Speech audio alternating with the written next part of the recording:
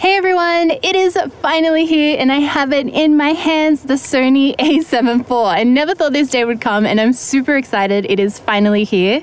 As usual, we're going to be taking this camera body out in the field to test out everything that it has to offer.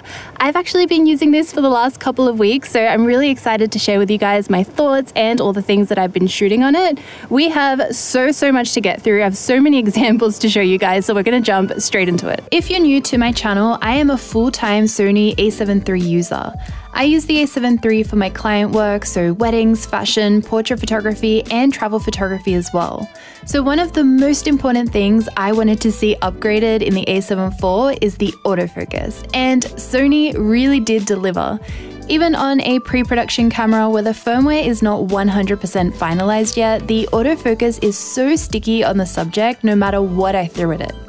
I'm using the GM 35mm f1.4 for these human eye AF tests. The a7 IV has 759 phase detection AF points, which means it covers about 94% of the frame while you're shooting. You can also use eye AF or subject tracking to keep focus on your subject.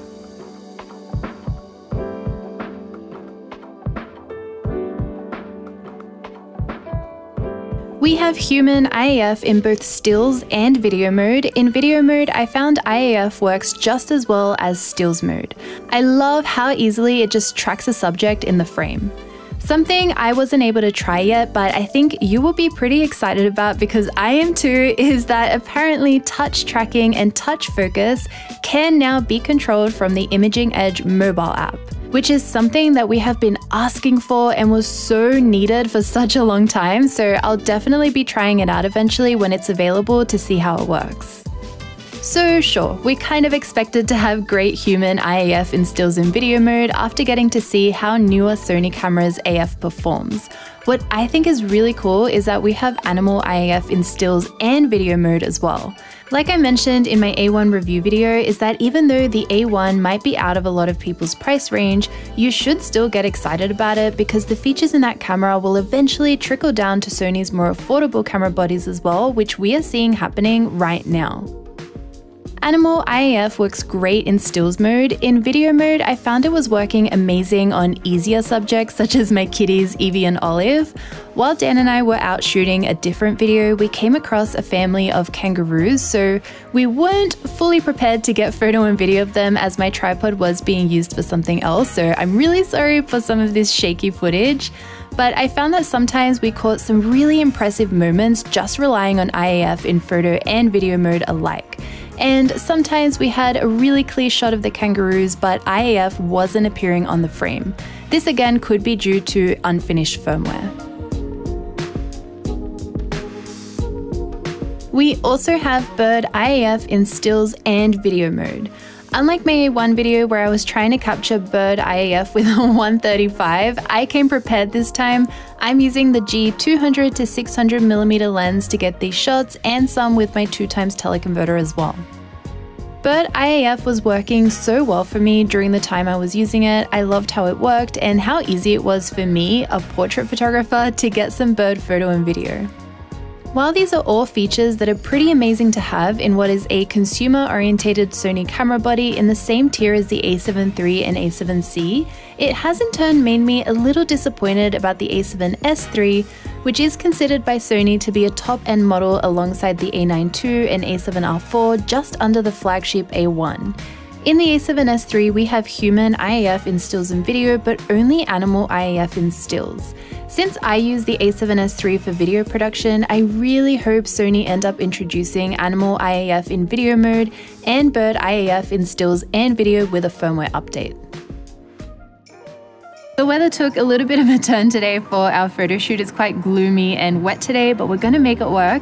Today I'm going to be shooting on three different prime lenses on the a7 IVs, but first I'm gonna take a closer up look at this camera body. I feel like there has definitely been an ergonomic upgrade to the a7 IV. It reminds me a lot of the a7S III and the a7R4. The grip where your hand goes when you're shooting feels a lot more comfortable to hold. We have dual card slots in this camera. We have two UHS-2 SD card slots and one CF Express Type A card slot. We have a double layered mode dial. The first layer you get to choose between photo, video, and S&Q mode, and then the top layer you get to switch between PSAM and your recalls. Something I really, really love is that they've switched the exposure compensation dial to just an infinity dial, so you can use that to shortcut it to whatever you want. I currently have it set to ISO, but I'm also considering using it as a white balance shortcut, and you also have a lock button on it as well. We also have an upgraded EVF and LCD screen. The only thing I don't like is that we do have a flippy screen on the A7 IV, which if you guys know me, I definitely prefer using a tilt screen when it comes to photography. I like just tilting my screen down a little bit like that when I'm shooting so I don't have the sun reflecting and I can see what I'm doing. It's a little bit inconvenient for me having to flip it the whole way out. Um, yeah, I'm a little bit upset about that. and we also have the grippier joystick as well, which is something I also really wanted in an upgraded A7 III body. Normally when I do a photo shoot with the A7 III, I will have eye AF on, but I'll also have a small flexible focus point that I'll always keep on my subject's eye in case eye AF doesn't work for some reason while I'm shooting. With the A7 IV on the other hand, I really want to make the camera do all the work for me today so we can see its performance and its focus accuracy. So I'm going to have eye AF on with a wide focus point and I'm also going to be making use of subject tracking to see how it works throughout the day. As always, I wanted to say thank you to Sony Australia for getting this camera in my hands early, but this video is not sponsored by Sony. They lend me the camera to use and that's it. They don't ask me to say anything, they don't review my videos, so all thoughts and opinions are totally my own. I'm starting off taking portraits on the GM 35mm f1.4 and I will be sharing with you 100% crops of the unedited, straight out of the camera JPEG since I don't have access to the raw photos yet. I had so much fun during this rainy shoot and we took a lot more photos than I will be able to share in today's video. So I was thinking of releasing the shoot as its own behind the scenes video when I have access to the raws. Let me know if that's something you guys want to see eventually. I love that like as a close up with your hand then. And just tilt your head a little bit more straight there. Yeah, perfect. The Sony a7 IV has a 33 megapixel back illuminated image sensor and I'm really loving the image quality coming out of this camera. It reminds me a lot of the A1 and A7S III files in terms of look and style. The a7 IV shares the same processor and new menu system as those two cameras. I'm actually very happy about having 33 megapixel files to work with now. As a photographer, it means I have more freedom to crop in post while still maintaining good image resolution and on YouTube, it will be handy to be able to take a better look at lens performance when we're reviewing and comparing gear since we can take a closer look at the photos. So I'm gonna take a burst of photos here. I just want to see how well it keeps up with autofocus and how fast the buffer clears out as well. Okay, so I'm just going to hold it down. Perfect.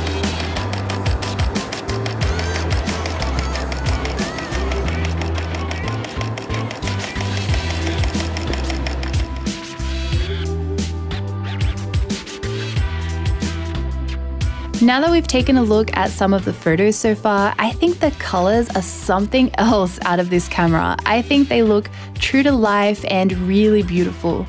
The skin tones look absolutely amazing and let me know what you think in the comments, but I adore the colors. Just like the A7 III, we have 15 stops of dynamic range. I will have to try that out properly when I have access to the raw files to see how much we can push and pull the tones. Now we also have the option of shooting 10-bit HEIF files instead of JPEG in either 422 or 420 color sampling if you are after smaller files with the same amount of information. I'm switching over to the GM 85mm f1.4 now. In the a7 IV, you have the option to have the shutter close on power off, which is similar to the A1 and A9 II.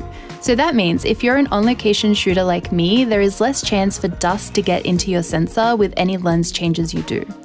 I will personally have it switched off still as I find it easier to clean a sensor rather than potentially having to clean or service the shutter.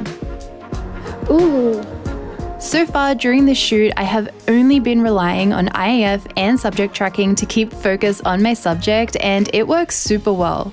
I had a really great focus ratio when culling the images to edit. Here's a little batch of photos so you can see how good the focus is. I also love that in image review you can turn on and off to see where the eye AF point was when you took the image.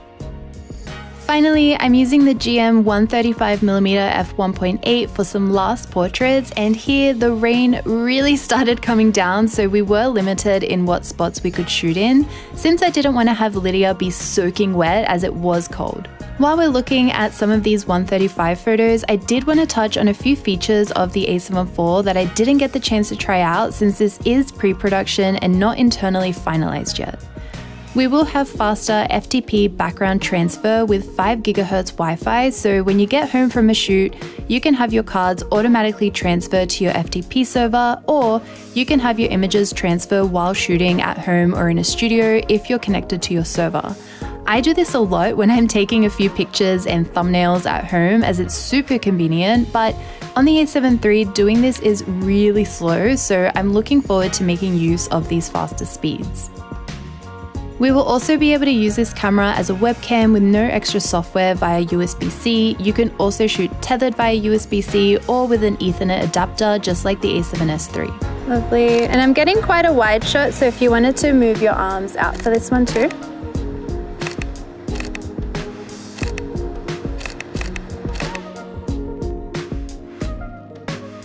Dan captured some video shots of Lydia so we can take a better look at the video files as well. These were all shot on the GM35mm f1.4 with eye AF and subject tracking the entire time. Dan also shot all of these handheld so we can see the stabilization. I'm super excited the a7 IV records in 422 10-bit. The footage looks really beautiful and matches the video quality from the A1 and A7S III. In 4K, you can record 30 frames per second in full frame 16 by 9, which makes use of 7K oversampling.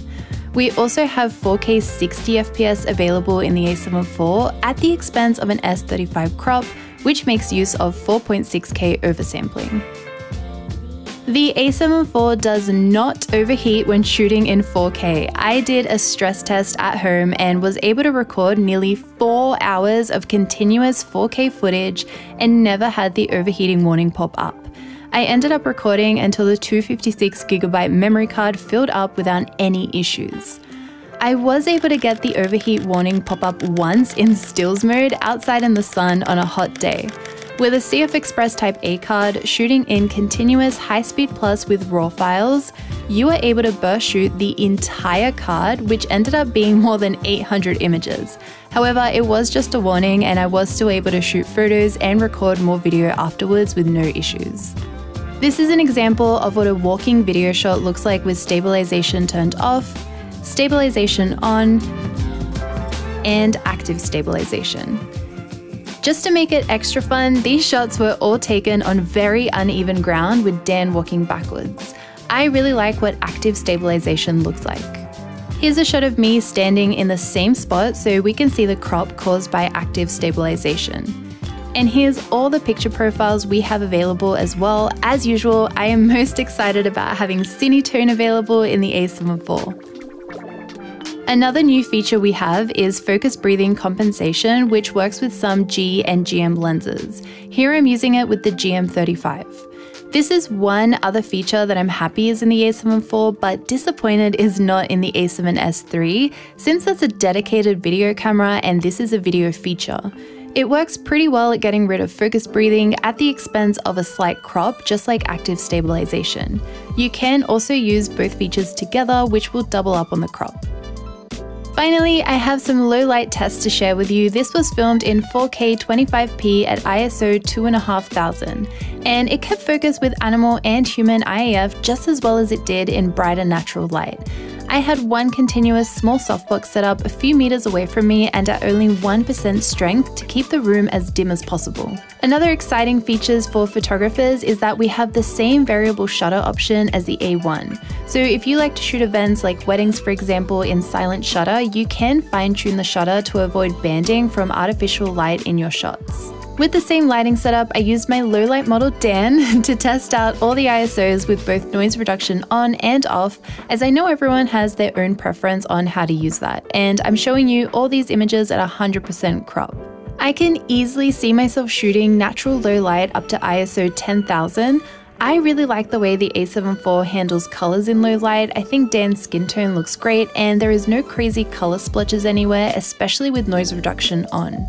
The lighting I'm using is quite warm as well, similar to what I experience when shooting wedding receptions. I can see myself pushing ISO 20000 or even 25600 if I'm desperate for extra light, and I think past that, the image loses too much sharpness and there's too much noise for my liking. But overall, I'm really happy with the low light performance. So while I show you a few extra photos, I think I need to answer the question of are you going to upgrade? And yes, I will be upgrading to the a7 IV from the perspective of a full-time portrait and wedding photographer. So the a7 IIIs that I have have been amazing for the last three years that I've used them and they will continue being an amazing camera as well but I am looking forward to some quality of life upgrades. There have been times when I'm at a wedding or doing a editorial or fashion shoot where I have felt like it would be nice if I had a little bit of this or if this was a bit faster. So the two main things that I wanted upgraded in the a7 III is better autofocus, which we definitely got, and more because we have the human eye AF, but also animal and bird eye AF in stills and video. The second thing that I really wanted upgraded is a better LCD screen, which it's a little bit of a shame that it is a flippy screen. I am still sad about that. But I think the positives of that camera outweigh the negatives of a flippy screen for me. I'm also really enjoying the colors and the image quality straight out of camera. I feel like the a7 IV files remind me so much of the A1 and the a7S III files, which feels like a new generation of Sony colors, which I'm really, really loving.